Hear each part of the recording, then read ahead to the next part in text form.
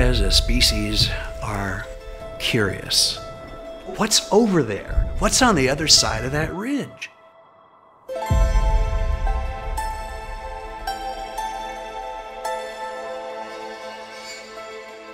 We were made to explore.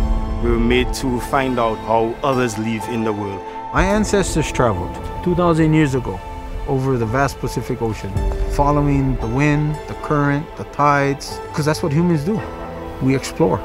Since the very first dawn of humankind, the most adventurous of those were the ones who put to sea. It's an education. You meet new people, you share things.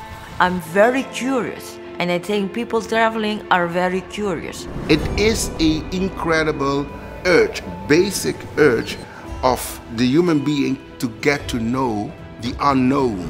Immerse yourself in the culture.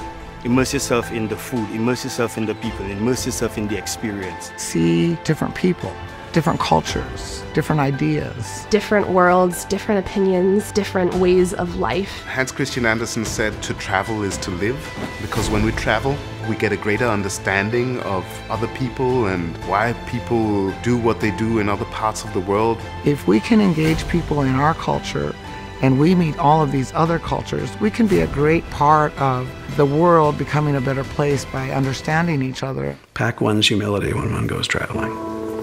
If that happens, then you'll find a whole lot more doors open, a lot more color, a lot more music.